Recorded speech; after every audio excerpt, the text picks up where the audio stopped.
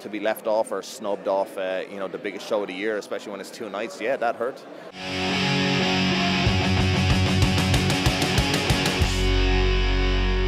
Finn Balor, as I live Here and we, breathe. here we go again. Here we go again. Yeah. How many times have I interviewed you? Probably Too many. two many. no, no, not enough. Not enough. It's always a pleasure. I would interview you every week if I could.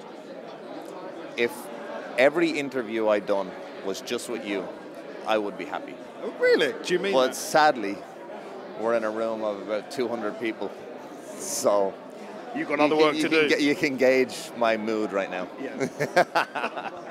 okay, well, we can have some fun. Oh, we can have some fun. have. Um, how, how are you feeling? Big stadium show in the UK.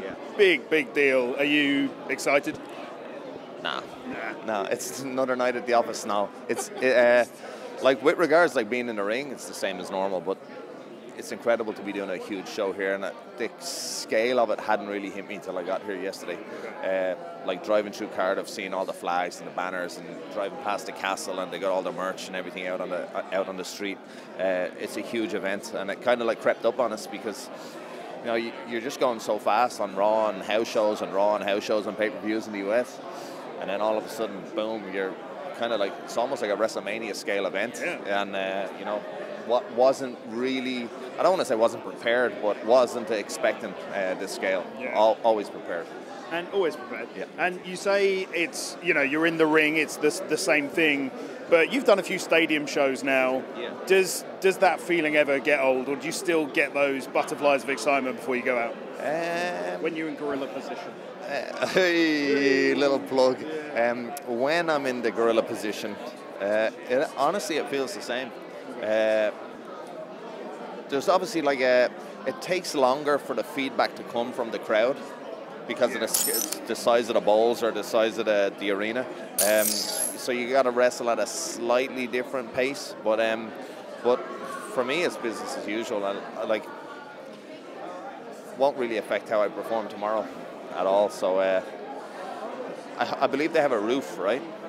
Yes, I believe so. Yeah. So, so one thing, uh, we done the stadium show a couple of weeks ago in Nashville for SummerSlam. And there was no roof, and it was like 35 degrees, and I was boiling, and I was like, jocks were sweating and everything before I went out there. So hopefully they got the AC pumped in in the Principality tomorrow. That would be good. Yeah. Um, you were talking about SummerSlam weekend. During the press you did for that, you were quite you were quite sort of open about how frustrated you were being left off big shows in the past. Yeah.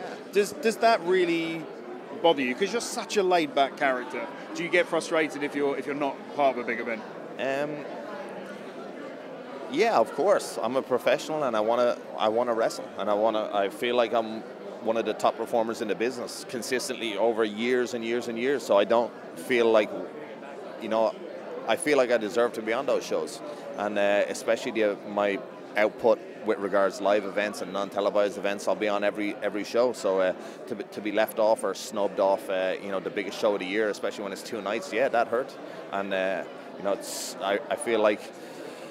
I'm sure it was to do with how I was performing, and maybe I was a little monotonous going through the motions with you know the, that kind of babyface version of Finn. Uh, but you know, I feel reinvigorated recently, being able to do a true heel uh, character, which I feel like I do better, much better than I do a babyface, and uh, something that I haven't properly done in WWE either. You know, we kind of we tried to do it in NXT, but when we lost the audience uh, due to COVID, we had to kind of tweak the character and make it more of a tweener.